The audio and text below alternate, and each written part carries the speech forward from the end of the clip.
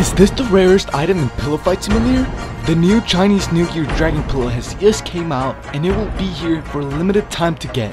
It will be purchasable in the shop for 39 Robux. So if you don't want to miss out, be sure to buy it. It might even become as rare as the Monkey Pillow. So now I don't have to wonder,